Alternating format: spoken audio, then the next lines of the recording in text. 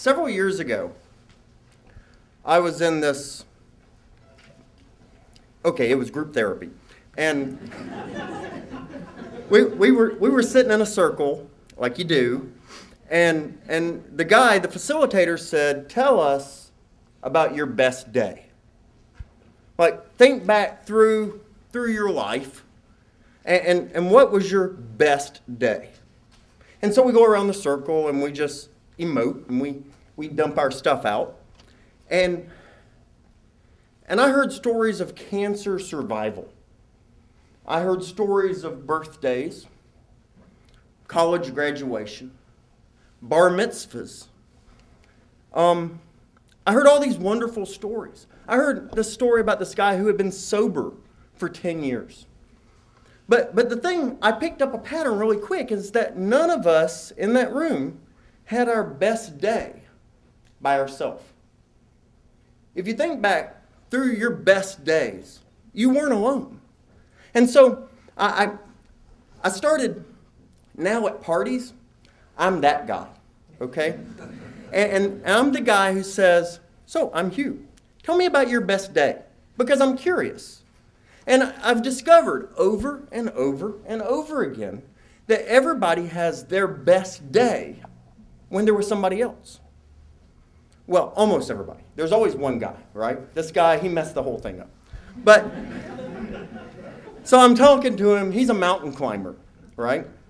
And, and he's telling me about 3 a.m., and he's climbing the mountain, and it, the gentle rain, and, and he's feeling transcendent and with God, and yada, yada, yada. And he gets to the mountain peak. It's like 5.30. He sits. He faces east. He watches the sun. Come. It's a beautiful story. And, and the sun comes up and the darkness peels back. And he said, I felt just at one with the universe. And, and I'm crying. I mean, it's a beautiful story. He's doing a much better job of telling it than I am, right? And so I said, Well, what'd you do then? He said, Called my wife and told her about it. So, so even that guy wanted to share his best day with somebody else. Like Zach said, I run a faith based nonprofit uh, called Love Wins Ministries, and uh, we work with people who are chronically homeless. Now, you have to understand there's all kinds of homelessness, okay? Um, the single mom who lives at the shelter with her two kids and like still works, she's homeless. Uh, Jim, whose wife threw him out, so he's sleeping on his buddy Earl's couch. Jim's homeless. And Willie, who sleeps under the bridge down by the park and has for the last six years, Willie's homeless. But Willie is the only chronically homeless person in that group, okay? Chronic homelessness, persistent homelessness. The best guess, the best numbers we have tell us that's about 10% of the homeless population. So, and there's all kind of theories about why chronic homelessness happens. Uh, there are people who will tell you that the chronically homeless, there's not enough housing. If we just had housing, it'd make it go away. And then there are people who say it's a jobs thing. If we only had more jobs, it would go away. And then there are people who say that the chronically homeless are just lazy or they're, they're all drug addicts or they prefer living that way or whatever. And, and so there's all these theories. And all of those are kind of legitimate, but they're not the real reason. Fundamentally, I have come to decide through my work that homelessness is at its core a relationship issue. Fundamentally, the reason people are homeless is because they do not have good relationships. People, the truest thing I know is that people who have deep, intimate relationships and a broad spectrum of social contacts do not become chronically homeless. They don't. And likewise, people who are chronically homeless, who claw their way back into mainstream society, they never do it by themselves. It does not happen.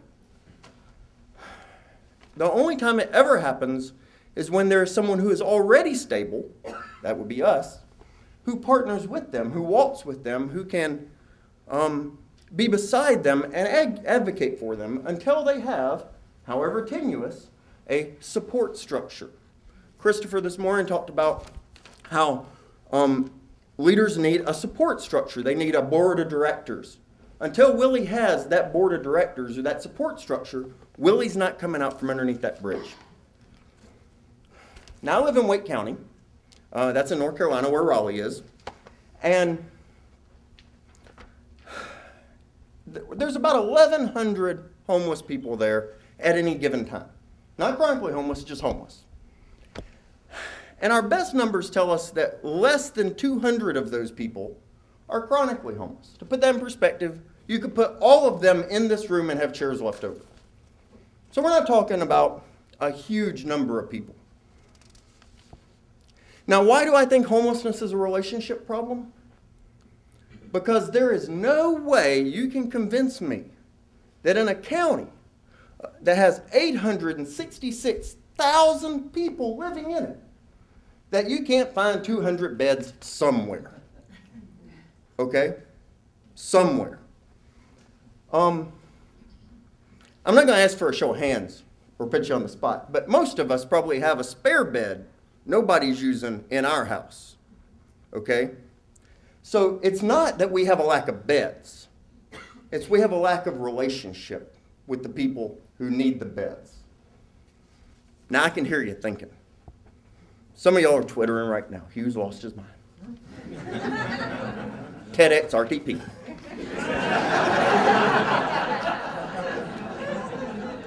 But I can hear you. I can hear you twittering now. No way is a homeless man coming in my house, let alone in my bed. There's no way. Get him out of here. Where's that hook? But I tell you that of course you would. I can guarantee you, you would let a homeless person in your house or sleep in your bed if that person was your mom. If, it, if, if your mom was living on the street, does mom have a bed in your house? If your sister, if your daughter were living on the street, do they have a bed in your house? And you'd say, he's crazy again. My mom, homeless. My best friend, homeless. Never gonna happen. Cannot happen. And I tell you, you are right. That cannot happen. And the reason it cannot happen is because they have you. Because they have you. You are what stands between them and homelessness. Chronic homelessness can be ended by a relationship. I believe that. I've seen it work many, many times. I've committed my life to it. But the more I do this, the more I understand that the problems of the world are at their core relationship problems. Again, not asking for a show of hands. Any of us here unhappy with how much we weigh? Exactly. According to Consumer Reports, I guess they would know, um, the, the most successful weight loss program out there, the most successful weight loss program is Weight Watchers. Weight Watchers. Now, you ever read the Weight Watchers stuff? It basically comes down to eat less food, weigh yourself every week with a room full of people watching you.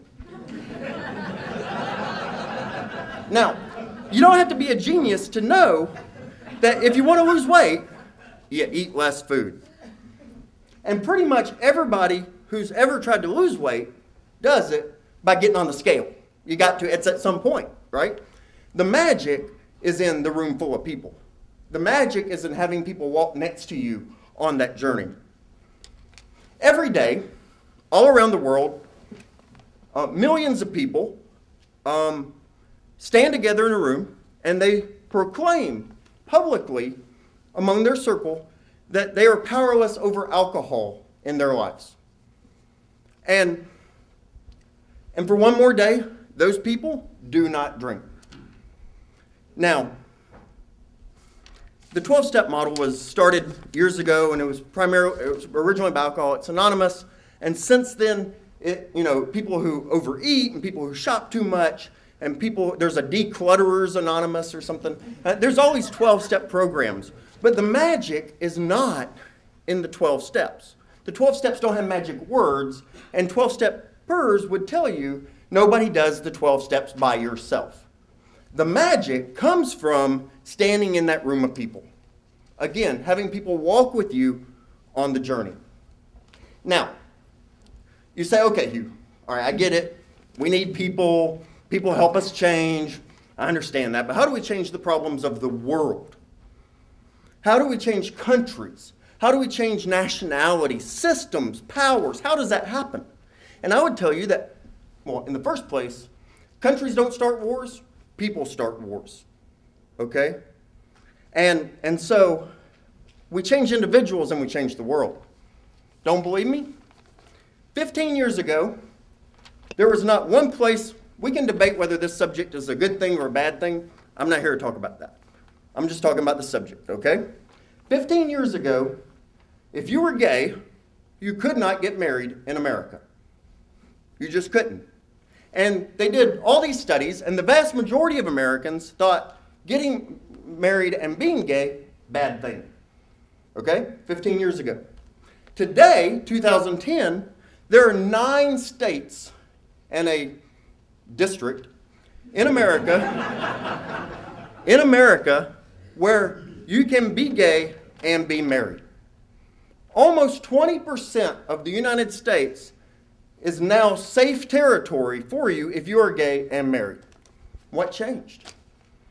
What changed in those intervening 15 years? Did we become more enlightened? Did we have a better PR program for the gay marriage effort? No. The Pew Forum tells us that the number one indicator over whether someone will support gay marriage or not is if they have friends with a gay person. If you have a friend who is a gay person, you are two times you're twice as likely to support gay marriage. What changed? Who we have relationships with changed. One more thing, one more example. In 2008, 17 million children in America, America, lived in homes where there was not enough food. 17 million. America. Remember all of us want to lose weight? Yeah, that country. Second fact is that Americans throw away 40% of the food we buy. 40%. You buy 10 bags of groceries, four of them are going in the trash. 40%. Now, how is those two numbers possible? How can we have 40% too much food, basically, and be obese and have children starving. How does that happen? I'll tell you exactly how that happens. Because those children who are starving don't know you. Because you can't tell me, unless you're like Hitler or Jeffrey Dahmer or somebody, you can't tell me that if you knew a kid who was going to sleep tonight hungry, you wouldn't get him some food. Right? Okay, I'm put you on the spot. This is the participatory part. Yes. Okay, if you knew someone who was hungry tonight, you would get them food. Okay? So the reason those 17 million kids are starving is because they don't know you. They don't. Now, some people will tell you, here you're oversimplifying. It's a distribution problem, that's all it is. And I say, no. Because if you're in Durham and your sister's kid is in California and you found out your sister's kid is going hungry tonight, distribution system be damned. You would charge the very gates of hell itself to get food to that kid tonight. You would. You wouldn't say, well, you know, it's a distribution problem. Um, one day, someday, somebody will fix this thing. Until then, I'm going to vote for Obama. Not that there's anything wrong with that.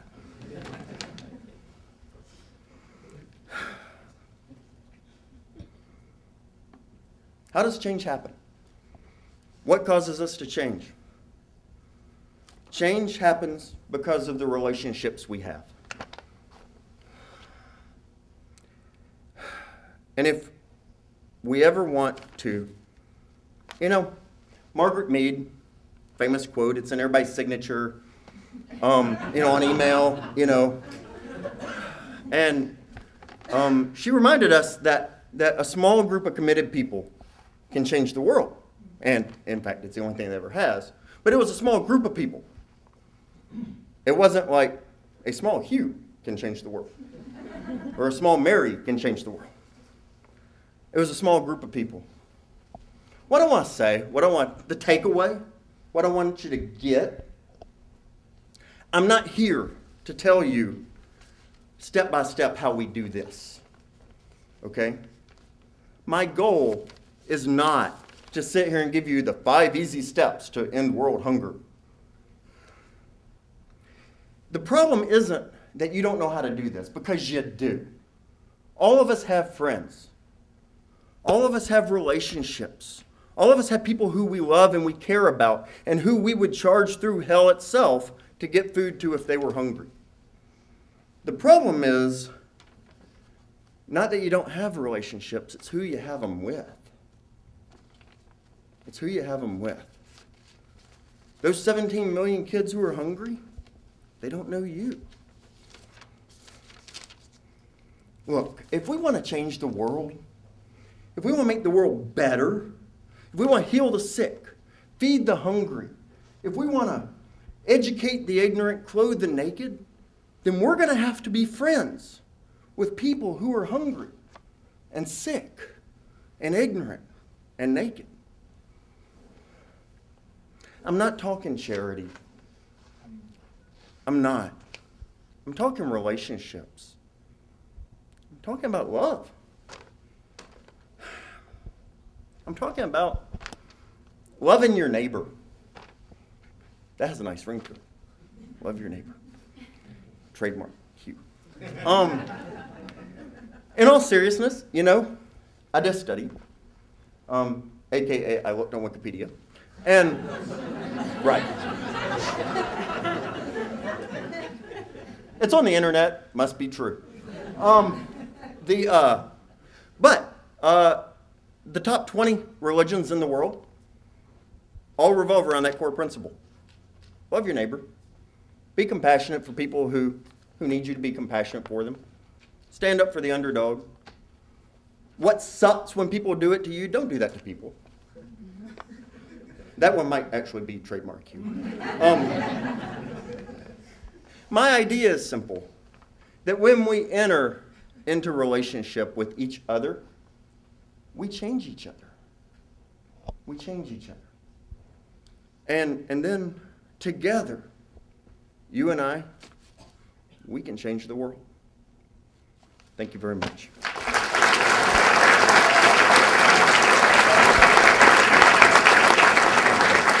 Hugh Hollowell, everybody.